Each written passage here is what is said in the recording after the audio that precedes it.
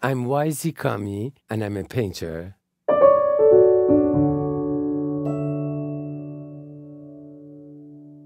My painting is mostly portraits.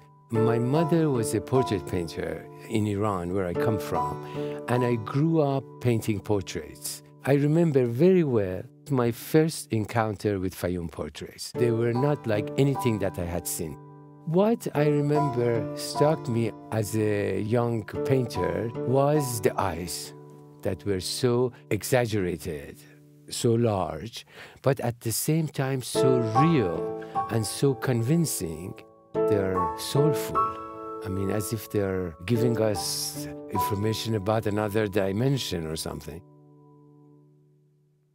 Altogether, there must be around seven, eight hundred Fayum portraits in different parts of the world, and we know nothing about the painters. The only thing that we know is that this technique and this style was used in a region in Egypt called Fayum, which is an oasis on the west side of the Nile.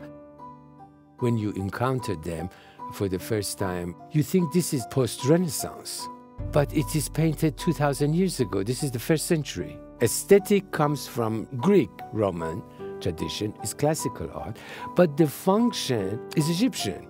They were all painted to be put on top of the mummy of the deceased. They used to commission the artist to paint the portrait, and then they would hang the portrait in their home.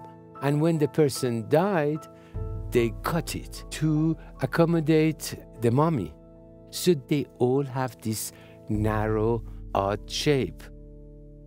They are painted with encaustic, which is a mixture of wax and pigment. You have to heat it in order to use it. These were painted for eternity. That's why it's painted with encaustic. Everything is preserved after 2,000 years. Each is a story of one human being. It's not just something generic the transparent white that they use and the backgrounds, they all painted in a light gray, but the palette of the faces don't have a formula. Each is individualized. This boy with the injured eye, with a little uh, mustache that shows that he's an adolescent, or this woman with her blue mantle, they are so real. Always in front of a human face, you have an emotional reaction. Fayums are as immediate to us as an actual photograph. People relate to these paintings. Maybe this is a cliche to say, but a true work of art that comes from a depth does not have cultural boundary, is timeless.